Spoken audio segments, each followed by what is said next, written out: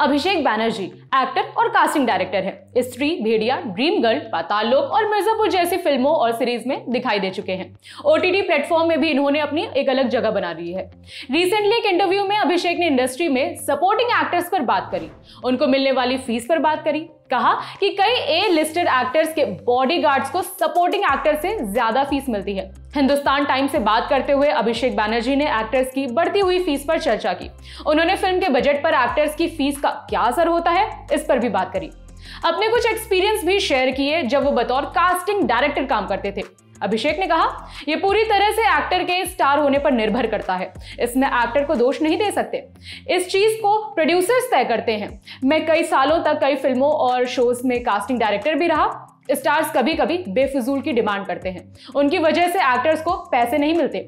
अभिषेक ने आगे जोड़ा। मुझे एक्टर से कई बार सुनना पड़ता है कि कम पैसे में एक्टर्स को कास्ट करो। मुझे नहीं पता कि बड़े एक्टर्स को ये बात पता है या फिर नहीं पता। कभी कभी इस चक्कर में अच्छे एक्टर्स को भी मूंगफली के दानों जितना पैसा मिलता है। ये ठीक है कि एक्टर वैल्यू से लोग थिएटर तक आते हैं टिकट खरीदते हैं, मगर उसी वक्त सपोर्टिंग एक्टर्स भी स्टोरी में वैल्यू डालते हैं। उनकी मेहनत को नकारा नहीं जा सकता। किसी किसी एक्टर को तो एक्टर्स के बॉडीगार्ड से भी कम पैसे मिलते हैं। अभिषेक ने इसी इंटरव्यू में यह भी बताया कि कैसे प्रोड्यूसर्स उनसे कहा करते थे कि कम पैसे हैं, मगर उन्हें कम पैसे में अच्छा एक्टर चाहिए। अभिषेक ने कहा, फ़िल्म का ज़्यादातर बजट स्टार्स के पास जाता है। फिर जब तक वो नीचे वालों के पास आता है, उसमें कॉस्ट कटिंग होने लगती है। नतीजा ये निकलता है कि आपको कम पैसे में अच्छे एक्टर्स कास्ट करने पड़ते हैं। ये उनको शुरू से ही डीमोटिवेट करता है। या तो फिर आप किसी ऐसे आदमी से उन्हें रिप्लेस करें, जो अपना काम अच्छे से ना करना चाहता हो। या फिर इसका असर स्क्रीन पर भी दिखाई देगा। फिर जब फ़िल्म फ्लॉप होती है तो मेकर्स खुद को शॉक में दिखाते हैं, जैसे उन्हें पता ही नहीं कि आखिर क्या हो रहा है। खैर, अभिषेक के अलावा पहले भी कई सारे एक्टर्स स्टार्स की बढ़ती हुई फ़ीस और उससे फ़िल्म के बजट पर पड़ने वाले असर पर बात कर चुके हैं। हम अभिषेक के आने वाले प्रोजेक्ट्स की बात करें तो वो राजकुमार राव और श्रद्धा कपूर के साथ फ़िल्म स्त्री टू में नज़र आएँगे।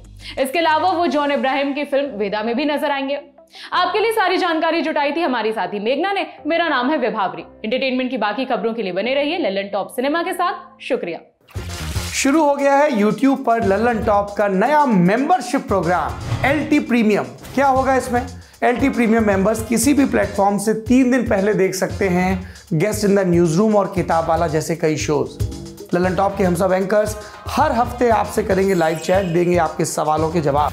ललन टॉप के न्यूज़ रूम में क्या होता है? अर्ली एक्सेस ब्लॉग में दिखेगी न्यूज़ रूम की रोचक जानकारी और उठापटक ये मेंबरशिप लेने के बाद सिने सन्यासी समेत कई नए नवेले पॉडकास्ट भी आप सबसे पहले सुन पाएँगे।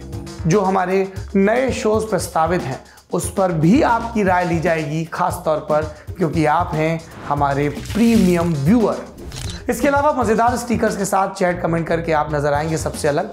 इन स्टिकर्स का इस्तेमाल आप यूट्यूब के चैट और कमेंट सेक्शन में कर पाएँगे। इस मज़े के लिए क्या करना होगा? इस जुड़ाव के लिए क्या करना होगा? जाना होगा ललन टॉप के यूट्यूब चैनल पर और ज्वाइन बटन को प्रेस करना होगा। फिर सिर्फ़ उनसठ रुपए महीने में मिलेगा Lallantop Anand. Apple user नीचे दिए लिंक पर क्लिक कर LT प्रीमियम सब्सक्राइब करें।